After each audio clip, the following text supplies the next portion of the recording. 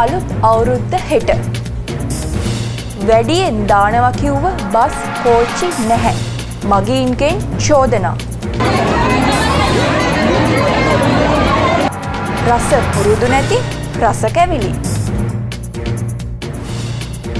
සියත ශ්‍රැංගිලා කෝකිල වසන්තයට සියල්ල සූදානම්.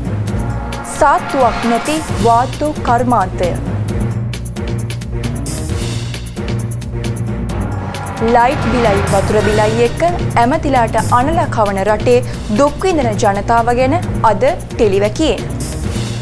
මේ සියලු තොරතුරු දැනගන්න සැමට කලින් සත්‍යය හරියටම ඔබට කියන සියත සවසහය ප්‍රධාන පුවත් විකාශය සමගින් එක්වන්න.